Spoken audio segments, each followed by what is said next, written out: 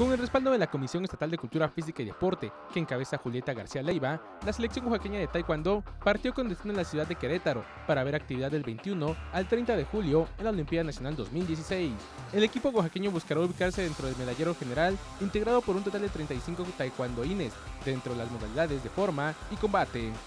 En lo que corresponde al programa de competencias a desarrollarse, las instalaciones del Centro de Congresos de Querétaro, el viernes 22 de julio, a partir de las 9 de la mañana iniciará la modalidad de formas en las categorías individual, parejas, tercias, freestyle, en varonil y femenil, respectivamente.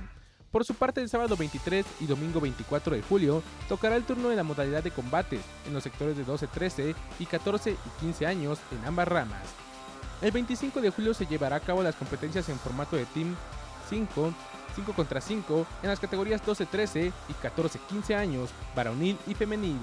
Para el martes 26 de julio está programada la intervención de formas en femenil y varonil individual en parejas, tercias, freestyle en los sectores de 16 a 17 años, mientras que el 27 y 28 de julio se realizarán los combates en las categorías de 16 y 17 años en varonil y femenil y por último, el 29 tendrá lugar el Team 5 de 16 y 17 años en ambas ramas.